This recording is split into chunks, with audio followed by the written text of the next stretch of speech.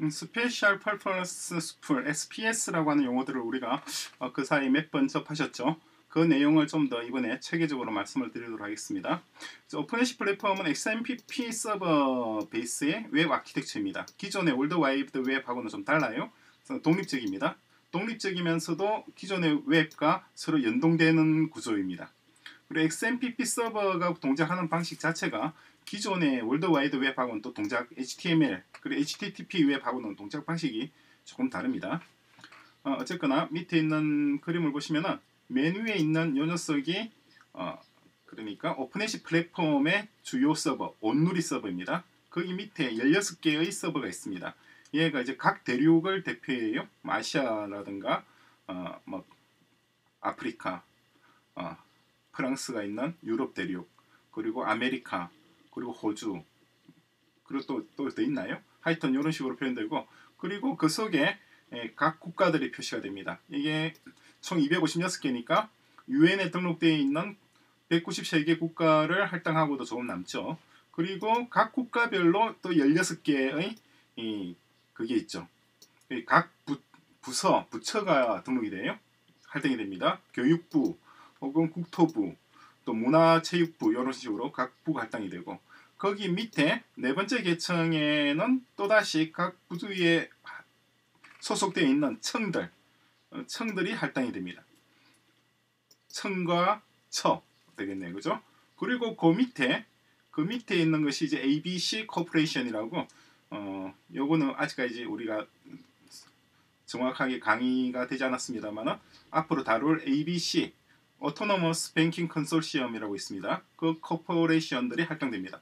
그렇게 돼서 전체 세계 전체가 하나의 틀 속에 딱 들어오게 되죠. 조직이 구성이 되게 됩니다. 그래서 이 뭐라고 해야 되나요? OpenHash 플랫폼 자체는 우리 첫 수업 시간에도 말씀드렸습니다만은 어 nation oriented 플랫폼입니다.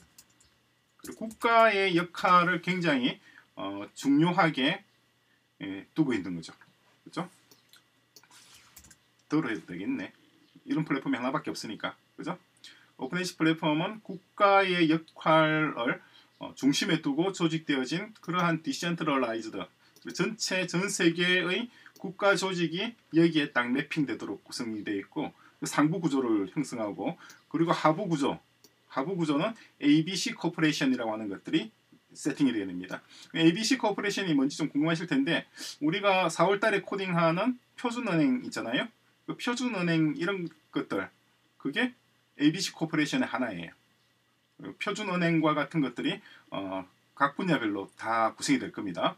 표준 병원도 있을 거고 어, 표준 교통 체계도 있을 거고 표준 시청도 있어요. 그런 것들이 다 ABC 코퍼레이션이 됩니다. 그래서 제일 첫 번째 있는 것이 이 그러니까 제일 첫 번째 온누리가 있고 그 다음에 국가 nation 수풀로 설정이 됩니다. 각 국가 코드가 있죠. 한국 같은 경우는 82번이니까 이것을 16진수로 바꾸면은 0x 52가 되죠. 52가 아니고 52가 되죠. 그죠? 16진수 52. 그죠? 이것이 각각이 할당이 되고 어, 주소는 IPv6 주소 여기 있는 이 주소 체계에다 그대로 매핑이 될 겁니다. 그죠? 여기서 시작할지 어디서 시작할지는 나중에 이 주소를 우리가 어디까지 받을 수 있는지에 따라서 달라요. 어, 주소를 좀 큰 주소 덩어리를 받게 되면 앞에서부터 시작할 거고 작은 주소 덩어리를 받게 되면 뒤에서 시작해야 되겠죠. 일단 큰 주소로 받으려고 노력을 할 겁니다. 그리고 이제 각 국가를 할당하는 거죠. 각 국가 번호를 할당하게 되고 이게 아니네요. 이 어디 갔나요? 아 그렇죠. 그리고 또 역할이 있는데 이 역할은 조금 이따 설명을 드릴게요. 다음에 두 번째에 있는 것이 이제 한국은행이라든가 이런 국가의 정부 주요 기관 그리고 공공기관 그리고 마지막으로 어, ABC 컴퍼니들이 마지막 계층을 형성하게 됩니다.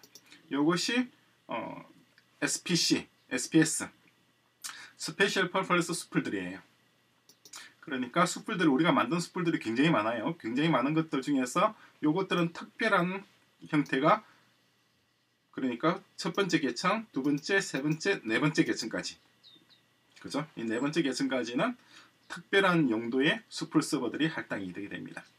그 어떤 것들이 있는지는 우리 지난 강의에서 몇 가지 살펴봤었는데 나머지 특별한 것들도 계속 수업 시간에 어, 강의 시간에 언급이 될 거예요. 그러면 여러분들은 요걸 생각을 하시면 됩니다.